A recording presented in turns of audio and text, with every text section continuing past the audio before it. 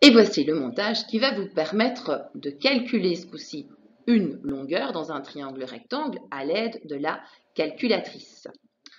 Ici, ce qu'on nous demande, c'est d'identifier la longueur PC. Première des choses, c'est placer mon angle de vue. Mon angle de vue, si l'angle est donné, sera situé d'office sur cet angle aigu. Or, ici, dans le schéma, il s'agit de l'angle de sommet C, soit 43 degrés. Première des choses lorsque vous écrivez vos raisonnements, c'est d'aller cibler la question qui est posée. Or, ici, on me demande la longueur du segment PC. Je vais donc analyser par rapport à mon angle de vue que je connais deux choses. La question posée, à savoir la longueur, et la longueur donnée, à savoir AP. Alors AP par rapport à mon angle de vue n'est rien d'autre que le côté opposé. Tandis que l'inconnu qui va euh, apparaître dans mon équation n'est rien d'autre que l'hypoténuse. Dès lors, la fonction que je vais utiliser n'est rien d'autre que le sinus de l'angle C que je connais. Ensuite, je vais créer ma division, à savoir le côté opposé sur l'hypoténuse. J'insère les différentes valeurs connues dans mon équation, à savoir l'amplitude 43 degrés, à savoir le côté opposé qui vaut 7, et ce que je ne connais pas, c'est ma longueur PC. Attention toutefois à bien vérifier au niveau de votre équation si l'inconnu est à sa place. L'inconnu sera à sa place à partir du moment où elle est en hauteur. Donc si elle est diviseur, vous me la dégagez vite fait. Dès lors ici, je manipule l'équation tout en respectant l'égalité. PC qui était diviseur dans le deuxième membre apparaît de l'autre côté de mon égalité en hauteur. PC est égal à 7 ce coup-ci, divisé par sinus 43 degrés.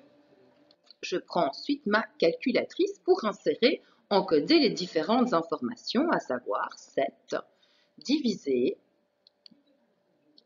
par le sinus de 43, n'oublie de fermer la parenthèse, et puis ensuite j'appuie sur Enter pour voir mon résultat. Au niveau de votre résultat, il s'agit de la longueur sous forme décimale. Reste à conclure votre raisonnement en indiquant la juste symbolisation et en notant votre arrondi au niveau de la longueur à 10 2 près, à savoir deux chiffres après la virgule. Ici, il s'agissait d'identifier la longueur PC qui est égale à 10,26. Bien sûr, si des unités de longueur sont manipulées dans votre énoncé, il s'agira d'ajouter la bonne unité pour conclure votre raisonnement, mais ce n'était pas le cas ici. Autre exercice, ici on vous demande d'identifier la longueur CA. Première chose, je place mon angle de vue. Comme je connais l'amplitude d'un angle aigu 54 degrés, d'office, je me positionne du côté de l'angle de sommet je vais ensuite écrire l'élément recherché dans mon raisonnement, à savoir la longueur AC. Quelle va être la fonction trigonométrique utilisée Pour ça, j'analyse par rapport à l'angle que je connais? Deux choses, la longueur connue et celle recherchée. Alors, la longueur connue n'est rien d'autre que le côté adjacent, tandis que la longueur que je recherche correspond à mon hypoténuse. Dès lors, la juste fonction sera le cosinus de mon angle A que je connaît au niveau de son amplitude, étant égal au côté adjacent sur mon hypoténuse. Reste à insérer les différentes informations connues, à savoir cosinus de 54 degrés étant égal à 4 divisé par mon inconnu. Attention, à nouveau, on check, l'inconnu n'est pas à sa place. Il faut impérativement qu'elle soit en hauteur, c'est pas un souci. Nous allons manipuler l'équation de façon équivalente, on se retrouve alors avec longueur AC étant égale à 4 divisé par le cosinus de 54.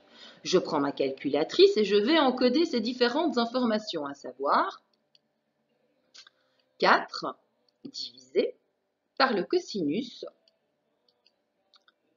54, j'oublie pas de fermer la parenthèse, et le tout me donnera 6,1 beaucoup de chiffres après la virgule. Reste à conclure mon raisonnement.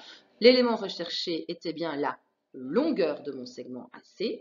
Je prends l'arrondi avec deux chiffres après la virgule et dans ce cas de figure, attention, c'est pas 6,80 mais ça bascule 6,81. Dernier petit exercice, ici on vous demande d'identifier la longueur SO. Première des étapes, c'est mettre votre angle de vue. Or, l'angle de vue va se situer du côté de l'angle aigu dont je dispose, à savoir 38 degrés.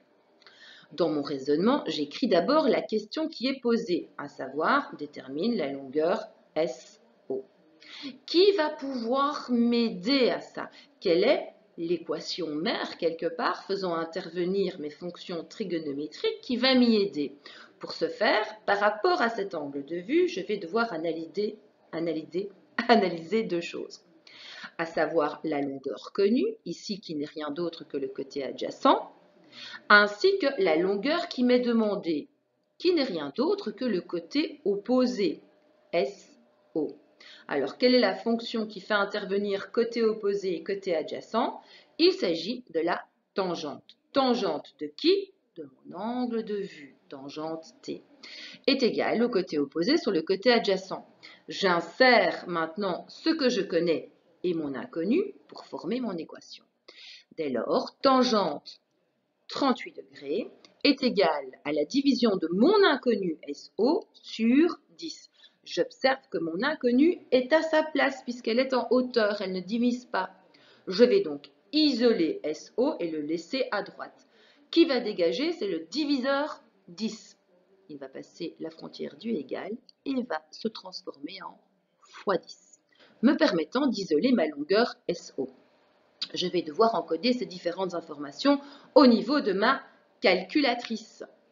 Comment ça se passe? Eh bien, tangente de combien De 38. Et attention les amis, hein, vous n'oubliez pas de fermer votre parenthèse. Cette tangente 38 va être multipliée par 10. J'appuie sur Enter pour identifier mon résultat et ma longueur sera le nombre décimal 7,8128, etc. Pour conclure mon raisonnement, je vais devoir donner l'arrondi à 10 moins 2 près et donc la longueur SO sera de 7,81. Voilà, rien de bien compliqué, à vous de jouer maintenant.